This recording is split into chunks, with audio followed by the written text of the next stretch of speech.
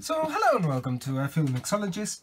Uh, what I'm doing today is I'm building this um, Holley 4180 uh, carb, uh, which is quite different uh, to a kind of standard 600 CFM uh, 4160 vacuum secondaries carb. So what I'm going to do is, is I'm going to show you a close-up of what's the main differences between the two models and it's very and that's and and that's probably the reason why it's very rare to see any of these carbs being rebuilt because if you try and buy a standard rebuild kit for these carbs it's not going to work. Um, so I'll show you I'll show you why in a minute. And also I'll show you kind of the rebuild process as I go along. Okay so let's have a look. Um, what I'm going to do is I'm going to put them side by side if I can.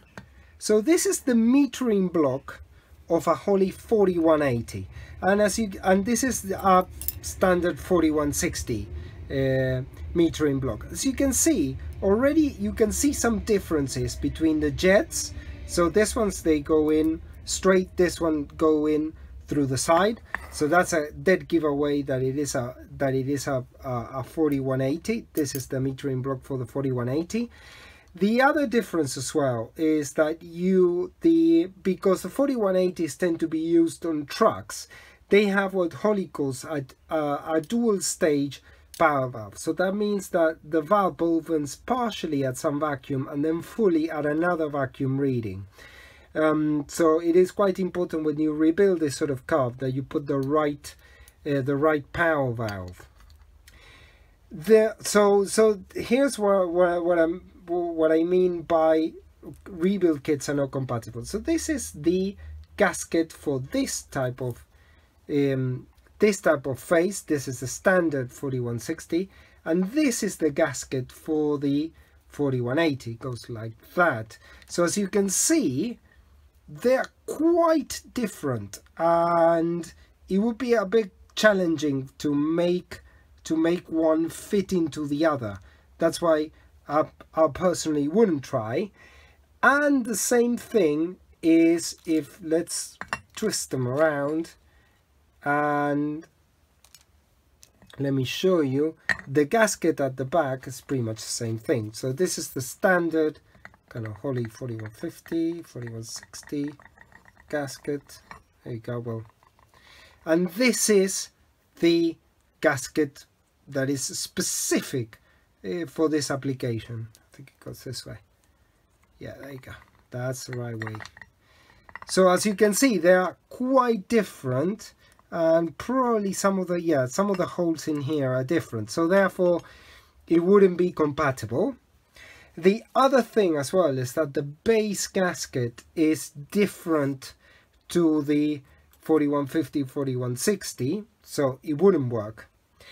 There is yet another difference that in in in Holley the 4150, 4160 carbs, this is the idle mixture screw. Now in 4180s it's quite different because the idle mixture screws, this assembly that I've got here and basically this assembly goes right here into the base plate of the carb. So there are carbs that are that are regulated by by putting this assembly here into here. So that that's why they haven't got the provision. There isn't any idle mixture provision in the metering block. So those are the main differences and the main reason why a standard rebuild kit wouldn't work on this card Okay, so here's the um, the the completed carb now. Um, as you can see from from outside, it it looks very similar to a standard, you know, 4150, 4160. Obviously, you've got this this pipes. They must be for some sort of vacuum attachments in the truck, and also there is a this choke mechanism is quite different to the normal Holley ones and also the these attachments here for the I don't know if you can see them this plastic uh, attachments here for, for the choke which were changed to new ones. Um, there is also another another particularity of this. Let's see if you can see it. If you can see it in there, let's have a look. If I can hold it. These are annular discharge boosters. Uh, and they're quite different to, to the normal ones. And basically they they produce a kind of higher flowing situation.